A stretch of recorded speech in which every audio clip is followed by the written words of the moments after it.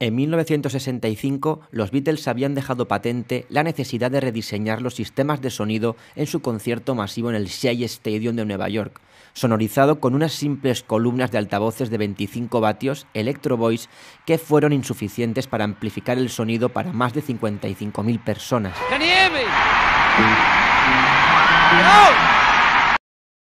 Al año siguiente, en 1966, los Beatles vuelven a repetir en el mítico estadio, aunque ante un aforo algo menor, unas 40.000 personas.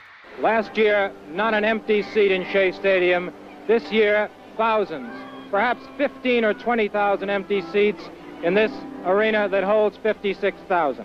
Esta disminución en la asistencia de público se debió, en parte, a las polémicas palabras de John Lennon unos meses antes, que había afirmado que los Beatles eran más populares que Jesús.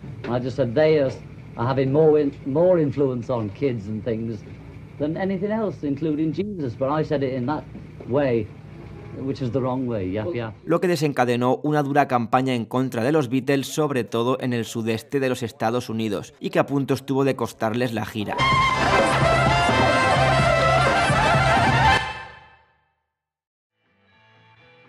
Este concierto supone un punto de inflexión en la sonorización en vivo, porque toma las riendas el ingeniero de sonido Bill Hanley, que cambia totalmente el diseño de sonido con un claro objetivo, ofrecer a la persona del último asiento la misma experiencia que el público de las primeras filas.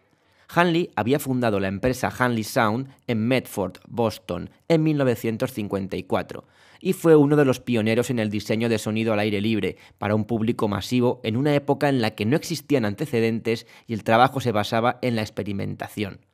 De hecho, la opción más lógica en aquellos años era sacar los sistemas de sonido Altec Lansing de los cines y modificarlos aumentando su potencia para los conciertos al aire libre. Antes de sonorizar a los Beatles, Hanley ya tenía experiencia previa en grandes eventos y había sido el técnico de PA en el Festival de Folk de Newport de 1965, recordado actualmente por la controvertida actuación de Bob Dylan que introdujo instrumentos eléctricos en sus canciones.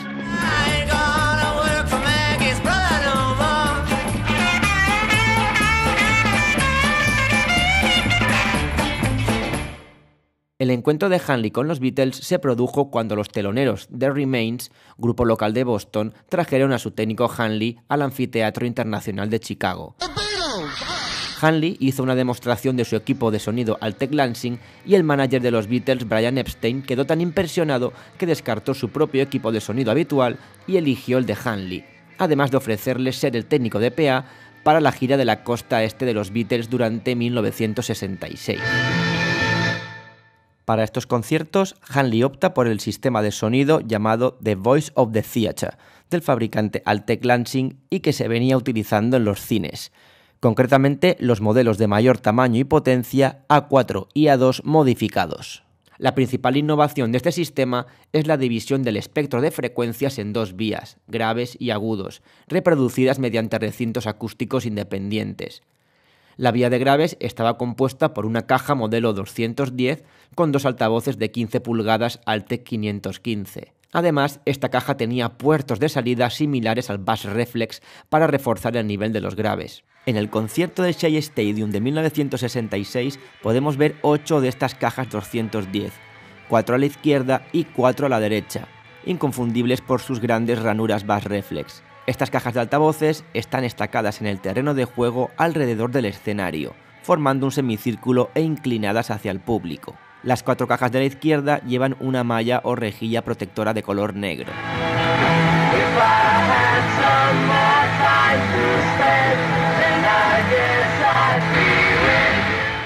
La vía de agudos del sistema Voice of the Theater A2 y A4 estaba compuesta por un motor de compresión Altec 288C de 40 vatios, que reproducía desde los 500 hasta los 16.000 hercios. Pero Hanley lo cambió por un motor Altec 290 de mayor potencia, 100 vatios, ya que conseguía llegar hasta los 300 hercios en la parte de graves y por tanto generaba mayor energía sacrificando la parte más aguda del espectro, ya que este motor solo llegaba hasta los 8000 Hz por arriba. Estos tweeters iban acoplados a un difusor o trompeta multicelular, consiguiendo aumentar así el nivel SPL en la banda de agudos. Todas estas trompetas las encontramos en el suelo del estadio. Las trompetas más pequeñas son las 805B de 8 celdas, aunque no se aprecia muy bien en la fotografía y tal vez sea en el modelo 1005B que tiene 10 celdas. También encontramos un montón de trompetas más grandes delante de las cajas de graves. Son las trompetas multicelulares 203B de 2 celdas, instaladas en posición vertical para apuntar a las gradas. Para completar el sistema de PA tenemos otras cuatro cajas de altavoces estacadas delante del escenario en posición más cerrada, dos cajas a la izquierda y dos a la derecha. Cada una de estas cajas lleva dos conos de 15 pulgadas. Y todo este sistema de PA fue alimentado por un amplificador RCA de 600 vatios. Si nos fijamos, dos de estas cajas parecen giradas apuntando hacia el escenario, y podríamos pensar que son el sistema de monitorización para que los Beatles pudieran escucharse. De hecho, se dice que los Beatles habían tenido algún monitor aislado en las giras anteriores, como en el estadio de Atlanta, Georgia, en 1965, uno de los pocos conciertos en que los componentes pudieron disfrutar de su música. Uh,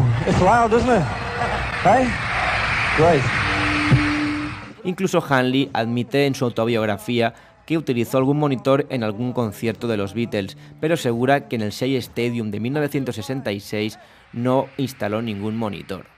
Como conclusión, podemos decir que el encuentro entre los Beatles y Bill Hanley marcó un cambio de rumbo en el refuerzo de sonido en vivo, puesto que Hanley aprendió a vencer a los gritos del público y a diseñar primitivos sistemas de sonido para decenas de miles de personas diseños que culminarán en el Festival de Woodstock en 1969.